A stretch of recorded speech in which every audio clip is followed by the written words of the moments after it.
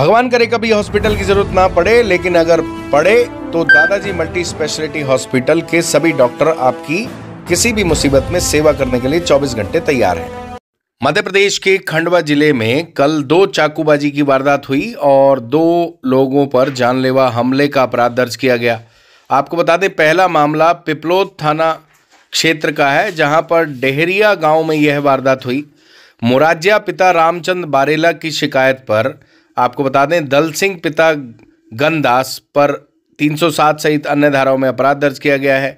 आपको बता दें कि दल सिंह ने मुराजिया को कहा कि वह उसकी बीवी पर गंदी नज़र रखता है, ऐसा करना छोड़ दे। इस बात पर से उनके बीच में विवाद हुआ और आपको बता दें कि चाकू से दल सिंह पर मुराजिया ने हमला कर दिया और चेहरे पर वार किया, जिससे जो दल सिंह है, उसके जबड़े पर काफ़ी चोट लगी और उसके शरीर के अन्य स्थानों पर भी चोट लगी, जिसके बाद दल सिंह ने पिपलोद थाने में शिकायत दर्ज कराई और आरोपी मुराजिया पर पिपलोद थाने की टीम ने अपराध दर्ज किया है। पिपलोद थाना प्रभारी श्री रावत ने बताया कि, जो आरोपी है मुराजिया उसे जल्द गिरफ़्तार कर जेल की सलाखों के पीछे भेजेंगे। दूसरा मामला आपको बता दें, ओमकारेश्वर का है, जहाँ पर हेमंत पिता प्रकाश केवट, निवासी कैलाश खो ओमकारेश्वर की शिकायत पर आपको बता दें कि हेमंत की उम्र भी चौदह साल है और उसने अजय पिता बलराम सेन निवासी कैलाश खो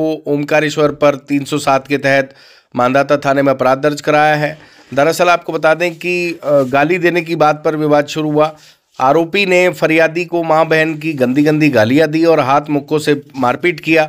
फरियादी के मामा दीपक द्वारा गाली देने से मना करने की बात पर से कमर के बेल्ट में खोसे चाकू को निकालकर आपको बता दें हेमंत पर हमला किया गया और चाकू मारा गया। दीपक को जान से मारने की नीयत से चाकू मारा। अब यहाँ पर जो फरियादी है, वो हेमंत है और दीपक को चाकू मारा गया है, आपको बता दें। दीपक की चाकू जो है, दीपक को चाकू बाएँ तरफ़ छाती के नीचे, गाल और कंधे पर लगा है। फ़िलहाल आपको बता दें कि फरियादी की शिकायत पर आरोपी अजय पर अपराध दर्ज कर लिया गया है और उसे भी जल्द गिरफ़्तार करने की बात बलजीत सिंह बिसेन, थाना प्रभारी मानदाता, कह रहे हैं। भगवान करे कभी हॉस्पिटल की ज़रूरत ना पड़े, लेकिन अगर पड़े तो दादाजी मल्टी स्पेशलिटी हॉस्पिटल के सभी डॉक्टर आपकी किसी भी मुसीबत में सेवा करने के लिए 24 घंटे तैयार हैं।